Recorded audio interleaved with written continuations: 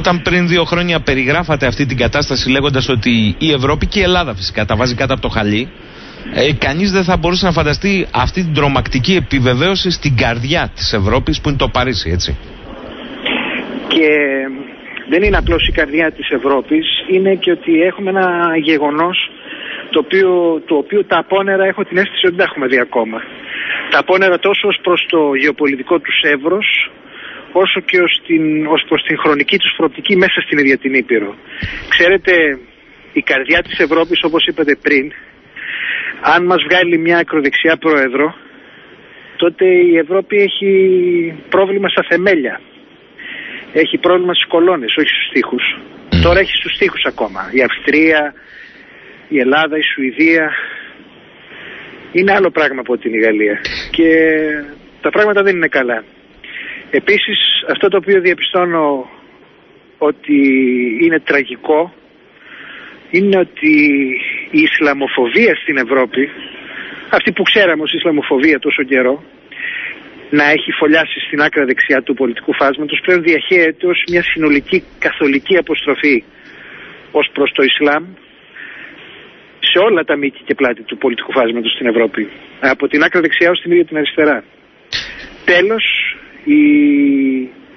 το λείπασμα στο αναρριχόμενο φυτό της άκρας δεξιάς το οποίο όλο ένα και μεγαλώνει δεν θα μπορούσε να είναι καλύτερο. Άρα τα πράγματα δεν διαβάζονται καλά. Άρα... Και θέλει συνολικές πολιτικές ανα, αναθεώρησης, να ξαναδιαβάσουμε τι έχουμε κάνει. Mm. Να ξαναδιαβάσουμε τι κάνουμε με τους μετανάστες στη Γαλλία, να ξαναδιαβάσει το Ισλάμ την ίδια του τη θέση τόσο ως προς την κυρίαρχη θρησκεία και πολιτική κατάσταση πράγματος στην Ευρώπη ως προς τον ίδιο τον εαυτό δεν είναι τυχαίο ότι αυτού του είδους ο πολιτικός εξτρεμισμός του Ισλάμ, η χρυσή αυγή δηλαδή του Ισλαμισμού, διότι περί αυτού συζητάμε. Συζητάμε για την άκρα άκρα δεξιά του πολιτικού Ισλαμισμού. Περί, αυτοί είναι αυτοί που κάνουν αυτές τις δουλειές. Φυτρώνουν στην Ευρώπη, δεν φυτρώνουν τόσο πολύ στη Μέση Ανατολή. Είναι πολλά αυτά που πρέπει να δούμε κύριε Σαχίνη.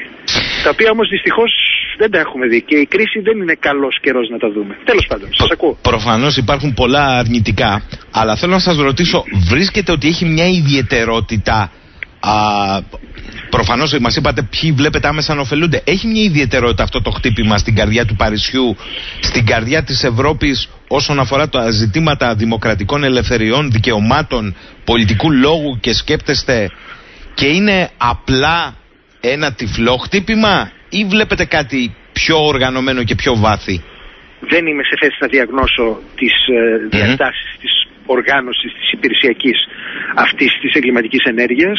Αρκούμε στο ότι να πω ότι η ενέργεια αυτή χτυπάει τον πυρήνα αυτού που μας κάνει να είμαστε μια κοινωνία που επιτρέπει στον εαυτό της να διαφωνεί συντεταγμένα.